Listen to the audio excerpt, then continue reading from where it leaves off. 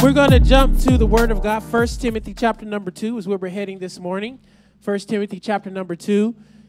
We are continuing a series on prayer, and uh, for many of us, uh, this is often a, somewhat of a, a hard conversation, or at least a conversation that is rife with all kinds of anxiety. How many of you uh, often can feel pretty uh, intimidated when someone asks you to pray?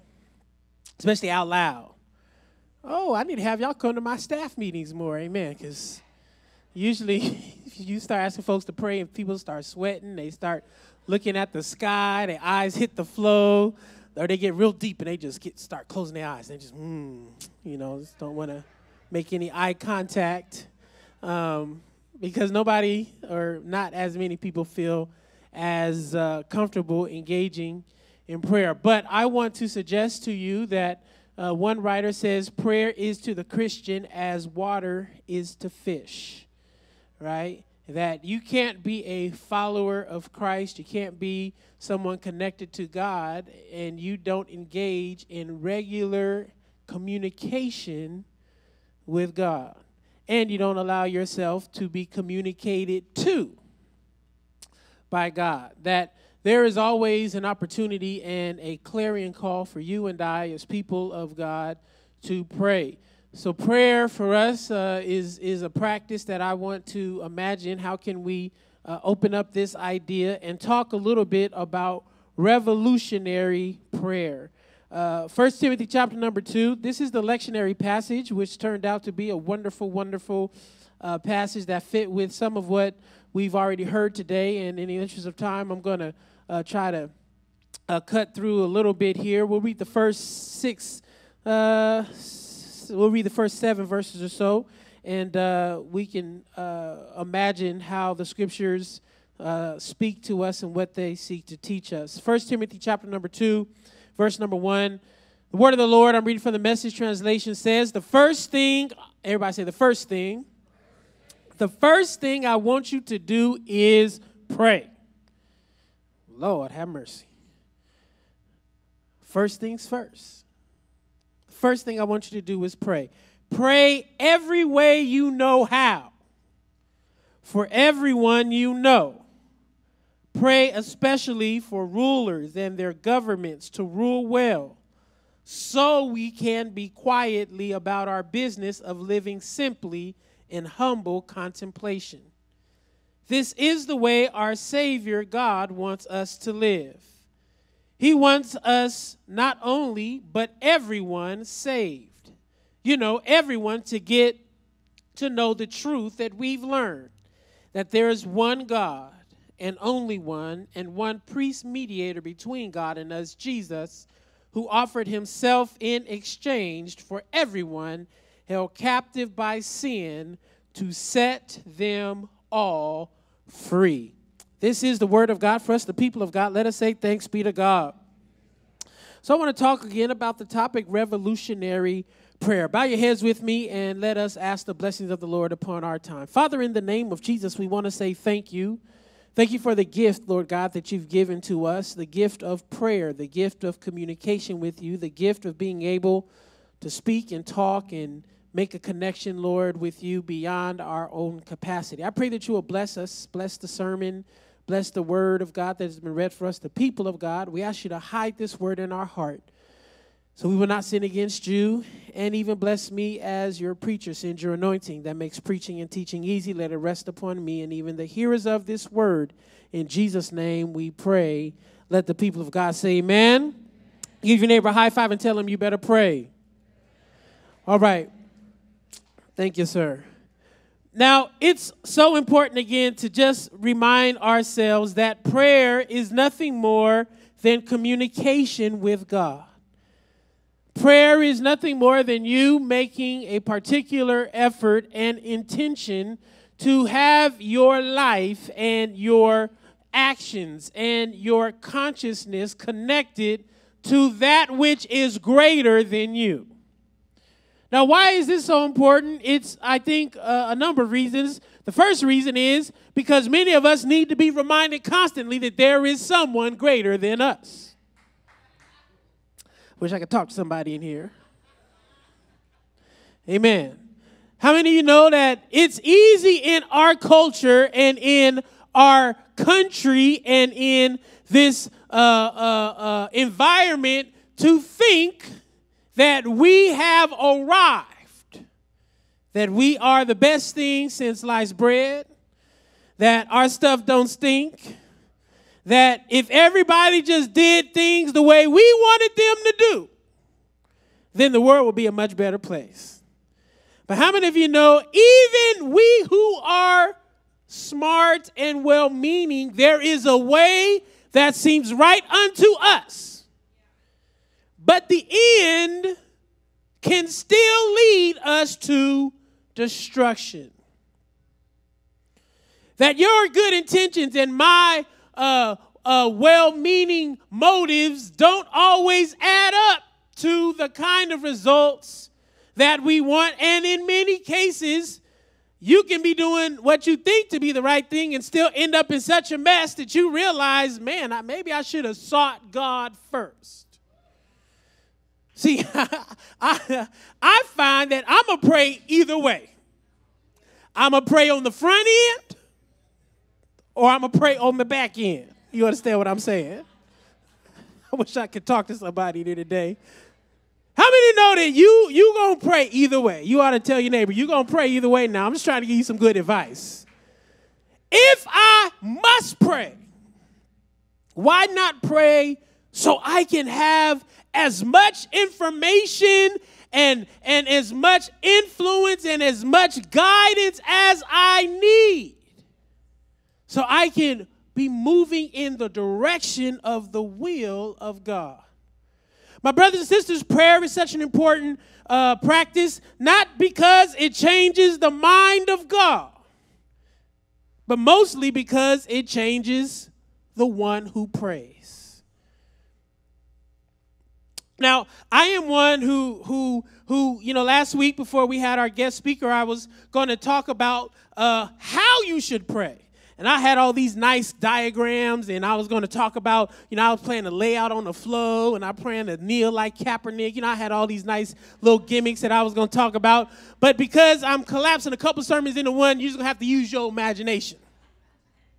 But I do want to submit to you that there are many kinds of ways and postures that you and I can employ when we are trying to pray, particularly praying in a revolutionary manner. I like to suggest and submit that while praying is is is is indeed at its root a a, a mode of communication to God, sometimes just like an antenna on a TV, your posture can often signal and help shape you in a certain way so you are praying with a particular intention in mind.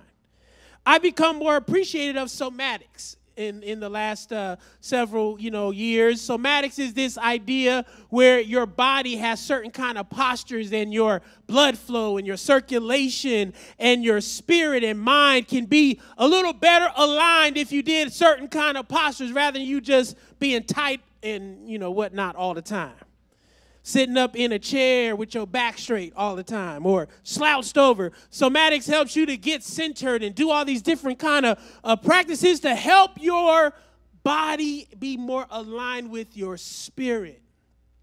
And in the same way i want to submit to you that there are all kind of ways that you can pray. I, I, I have this one diagram at least that i'll show that gives you a sense of all the many ways you can pray Understanding the postures of prayer help you to appreciate that the position is not important, but the position can help determine and influence your attitude towards God. So in scripture, you find that some people prayed while they were standing up. And standing before the Lord in prayer often reflected this, this hungering and this thirsting for God. It, it was a posture that allowed you to pray with not only hunger and thirsty uh, uh, kind of feelings and sensibilities, but it gave you a sense of authority that you have the right to be there. So when you pray and you're standing up, you are actually helping your body, your mind, and your spirit be reminded that you have been given authority by God to boldly approach the throne of grace. That prayer is something that God beckons you to do. God gives you a license as his child to come and seek him out whenever you need to talk to God. Versus you being timid and like, oh, shucks, uh, God, I don't, um, hmm, um, I don't know if if I should pray. No, when you stand, you should stand with authority. God, I'm here because you told me I belong in your presence, seeking your face. Another posture of prayer you may see up there is, folks, kneeling or bowing. Let's go, let's go with bowing. When you bow before the Lord in prayer, it conveys an attitude of honor, gratitude, and faith. Bowing in prayer helps you, helps you to appreciate that you're not coming out of fear, you're coming out of honor and reverence. And how many of you know in this world where nobody likes to give anybody any props, credit, or honor, you better practice bowing before somebody. And that somebody better be God. There's a posture of prayer that that that is about kneeling before God. And sometimes you got to kneel before the Lord because how many of you know we make mistakes? And kneeling before God is a posture of repentance. It is a posture of saying, I want you, God, to know that I need mercy and forgiveness. It helps order your heart in a way where you just don't forget that your stuff stinks. That you are in need of God's mercy. I don't care how long you've been in church. I don't care how long you've been following Jesus. I don't care how many uh, titles you have in front of your name. You who can't kneel before God have been filled with all kinds of hubris, pride, and arrogance the preacher, the nun, the pope, the sinner, and the saint. Everybody got to kneel before God and be like, God, I am in need of your mercy.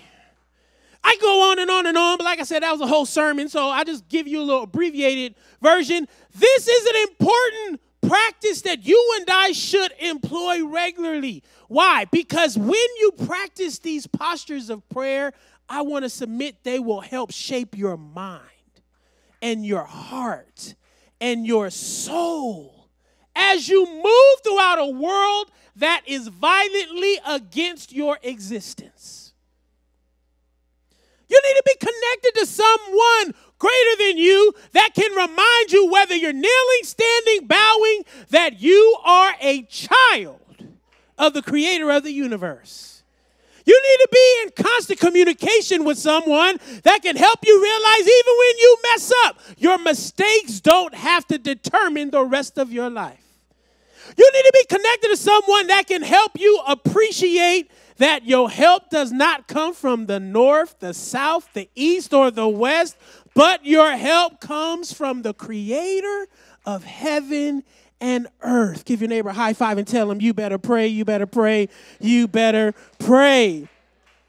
So when we come to the book of First Timothy, we see this as a letter to the, the young man who was an apprentice of Paul.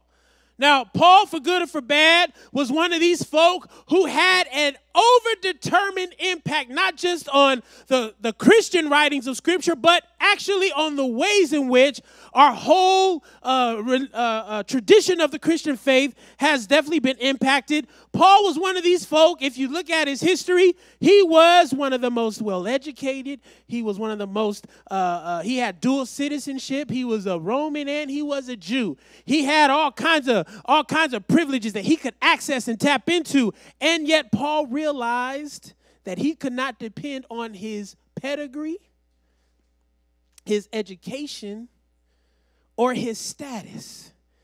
Paul wrote most of his letters from jail. which makes you understand that God always loves folk who are in jail. Hello, somebody.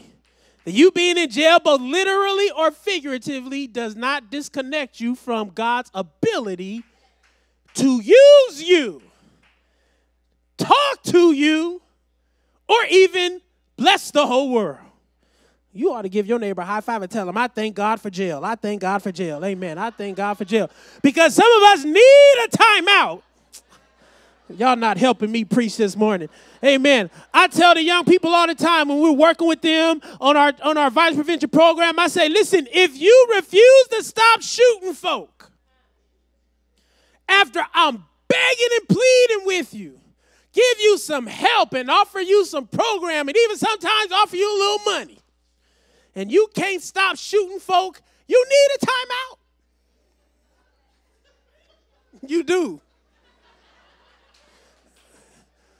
You need some time away, and I will come visit you, and I will come talk to you, and I will be an advocate for you coming back home when you ready to stop shooting and harming and hurting how many know all of us sometimes need a timeout? And guess what? I'm just here to tell you if you don't take the time out yourself, God knows how to lay you out. Mm-hmm.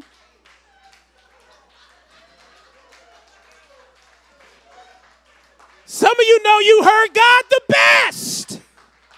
When you was laid out on your back, you couldn't go nowhere else.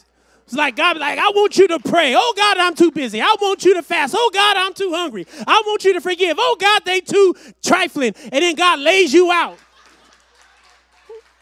then you're like, oh yeah, God. I hear your voice oh so clear. Hello, somebody. Amen. You have to understand that even at our worst, God can still achieve his best if we are willing to be connected to God. Paul, writing to his mentee Timothy, a young man who was trying to figure out how in the city of Ephesus, one of the most uh, diverse and and and and and and and uh, uh, uh, uh, uh differentiated cities around religious worship, Paul is trying to help Timothy appreciate. Listen, if you are going to be a good follower and minister and representative of Jesus, this is what you must do. First thing he said is you got to pray. Prayer has to be your priority. Somebody holler priority. You must make sure that every day you wake up, before you check your stocks, before you check Facebook, Twitter, Instagram, Snapchat, LinkedIn, Gmail.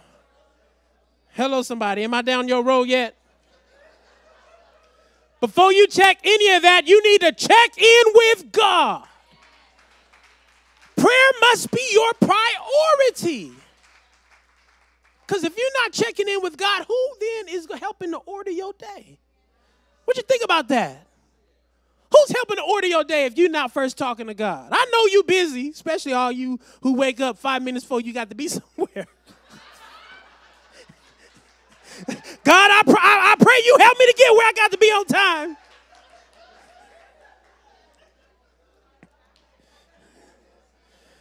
Somebody say, first things first. You must pray. Some of us are too busy to pray. That means that you have fully been seduced and taken over by these capitalistic, hegemonic forces that make you think you are too busy to talk to the creator of your soul? This country depends on you being too busy to pray. Because they know if you ain't talking to God, then you talking to everybody else. Some of us need to get a prayer partner. Somebody that, you know, can just pull our coats and be like, hey, did you pray today? Come on, let's pray. Come on, let's pray. Oh, I'm, you ain't too busy to pray. Because scripture says the first thing you need to do is pray. So, you know, because many of us are so busy and we can't carve it into our regularly scheduled day, I want to ask you why don't you use the times where we pray here at church or in the small groups? Sometimes you just got to take a time out from all this other stuff we doing. Because how many of that stuff going to be there when you get done praying? And certainly God's going to be there too, but like I said, I'd rather consult God on the front end than on the back end. So, a couple questions you ought to ask yourself simply what must you do to make first things first and pray? Are you too busy to pray daily? Do you have a prayer partner who can help hold you accountable? Do you take advantage of the weekly scheduled times to pray? What must you do to make sure that prayer, not prayer while you, you know, making a fool of yourself, you know, oh, I, I, I, hope to God I don't have to bust you. You know, I hope you better God help me not to curse you. You know, that's that that is some prayer, but that's not the kind of prayer I'm talking about. I'm talking about you getting some focused, committed time to slow down everything. And say, God, I need to hear from you. I've got too much hell on my job and in my family and my community to not slow this train down. Just say, God, let me hear from you. Why is that revolutionary? Because it is, listen, it is a counteract to the systems and pace of life that seek to cause you to run until you can't run anymore. Prayer reminds you that the time schedule you think over determines you can always be trumped by the eternal timeline of God. In a time of busyness, prayer makes you sit down and say, God, I'm not too busy to just hear from you. Not too busy to read a song, sing a song, sit quietly and wait for you to s- touch me and speak and and and gently nudge me in my life and my decisions in a certain direction. Lord, help me to pray every day. Help me to spend some time every week just hanging out. It has to be your priority. The second thing the scripture says is verse number uh, verse number one. It also says, "Pray every way you know how. Listen for everyone you know." Prayer is revolutionary when it is an act of intercession. Everybody say intercession.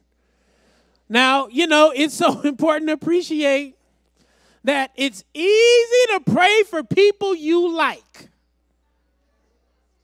I wish I could tell the truth. It's easy. Oh, God, bless my mom and them, bless my daddy, bless my boo, bless my kids, bless my, my good coworker, bless, bless, bless my study partner who does what they're supposed to do, bless that professor that gives me an A, bless, you know. But then when it comes to folk you don't like, just becomes a groan. Hmm.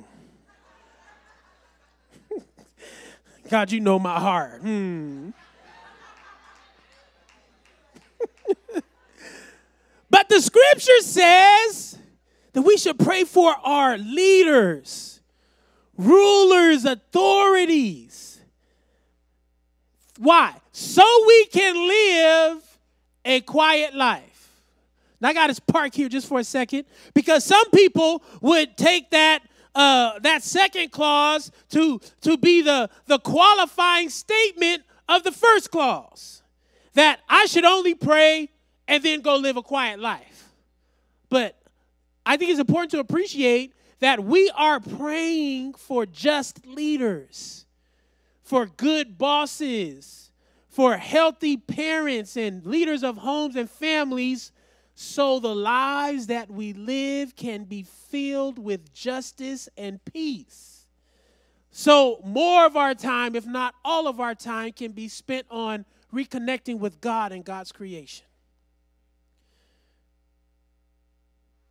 You have to appreciate, my brothers and sisters, that prayer should not replace your actions of doing justice and mercy, cultivating relationships, being healthy. Prayer should be a catalyst that helps to create those kinds of outcomes and realities. Intercession then means that you have to learn to pray not just for the people you like, but for the people who do you harm. You got to pray for them. I'm not praying for them. You better pray for them now. Because I believe, uh, I think Jonathan Edwards, he said it one time, what a terrible thing it is for the sinner to fall into the hands of an angry God. Now, I'm not so high and holy that I don't think that that could be talking about me. Because, you know, I don't want to be in the hands of an angry God. I don't want God to ever put me in his hands when he's angry. Amen. Because that could be some problems. But I do believe that God can move kings. God can move systems. God can change folk minds. God can do that. I've seen God do it. I know God's done it. We have all kinds of examples in Scripture. When Pharaoh didn't want to let the people go, took about 10 tries. But Pharaoh was like, oh, snap. I better let these folk on out of Egypt because I may not have nothing left. Keep fooling around with this God they praying to. See, I believe that you and I, our active prayer can help us be reminded, even with our leaders, both political and spiritual, moral, neighborhood leaders. I pray for Pookie. I pray for those youngst- youngsters who, who run the streets, you know, because they're leaders in the streets that ain't thinking about you, me, nobody else. I lift up their name. Lord, when I need peace in the community, I pray that Pookie will tell his homies to stand down till we can figure out how to get this thing situated. How many know there's street leadership out there that you got to pray for? Hello, somebody. These political leaders, Lord knows we better pray for these jokers. Because they don't have a right bone, or I don't know what they're thinking about these days. We got to pray for them. Why? so their decisions do not create more and more chaos and harm in the world. But I love what Frederick Douglass said. He said it best. He said, Praying for freedom did not help me as much until I started praying with my feet. So, prayer as intercession is also about you being moved to act. God, help me to pray in a way where I'm just not caught in one of those postures that we were doing earlier. But God, as soon as I get up out of those postures, I'm still doing an act of prayer as I vote, as I teach, as I mentor, as I do peacemaking work, as I heal, as I hug as I love. Lord, let my whole life be an act of intercessory prayer. But we have to keep the right focus, my brothers and sisters, and keep the right targets. Because we don't wrestle against flesh and blood. Everybody you think is in charge in that seat of power are often being moved by forces both unseen and unaware to the rest of us. But guess what? God is never fooled by the unseen forces. So, God, I pray that as we do this work of ministry in the world, Lord, I want to pray for my leaders. I want to intercede on behalf of those in my family How many know folk in your family that you know if God don't help them, they just won't be helped? I mean, you've done everything you can. You sent them to every program. You've gave them every bill. He, I mean, you you you you forgiven them 70 times 7 and you like, "Do I got to do 491?" Sometimes your intercession has to be, Lord, I, now I'm officially giving this over to you. And and and sometimes, you know, those folk we don't want to pray for, sometimes we got to change our prayer a little bit. Lord, help me, listen, help me to have what I need to have so I can pray for my enemies. That is an act of formation itself. Because when you praying for someone that you know has your worst interest at heart, you are now robbing them of the power they think and maybe even you think they have. And you are repositioning the power analysis now. You're repositioning to help folk realize that you may think you a king, but I know the ruler of heaven and earth. You may think you in charge, but I know the one that could even make you lie down in green pastures. Give your neighbor high five and tell him intercession, intercession, intercession. So let me give you these questions. Are there some folks you find hard to pray for? Who are they? This week you ought to make a list of them. It's a good practice. Make a list of these folk you find hard to pray for and just put them on your, on your refrigerator. Put them on your mirror. When you look at it, you just start shaking your head. I mean, no, you don't know, you don't do that. You say, just, just say, Lord, in the name of Jesus.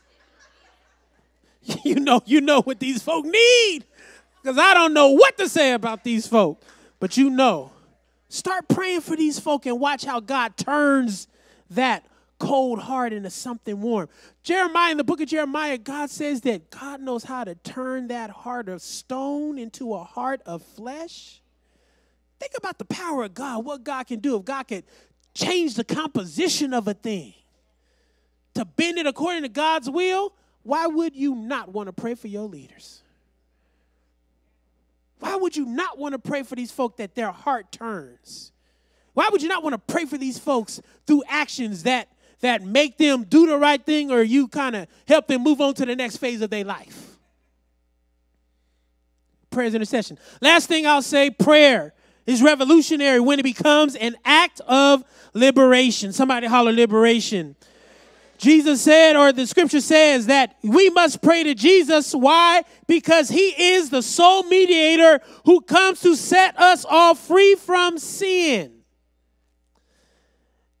Prayer as an act of liberation should remind you that at the end of the day, what good is it to have the whole world and still be bound? Liberation. Prayer is an act of liberation. Prayer is revolutionary when it becomes a source of our liberation. Now, many of you heard me say this all the time or often that the first revolution is always an internal revolution. That for all the praying and all the hoping that we want to see changed outside of us, sometimes God is actually trying to change us. Because it is in the changing of us that we can change then our outside situation. And there are often moments and times where we are praying and we're asking God to do some liberating, and we forget that the liberation we seek has to be connected to the liberator, the one who is the champion of freedom and liberation, the one who has a track record of never letting God's people down, the one who helps us be reminded that there is a, a source of liberation that does not depend on who's in office does not depend on who likes you or does not like you. That does not depend on the money in your bank account, but the source of liberation is the one who can liberate both the soul and the body. This liberator We call his name Jesus. We call his name Jesus because time and time again through the life that he lived, he demonstrated to us that there was a, a, a particular situation that nobody else could work out, but somehow Jesus figured it out. There was a circumstance that had to do with the healing of someone's body, and every doctor had been visited, but somehow just touching the hem of this liberator's garment.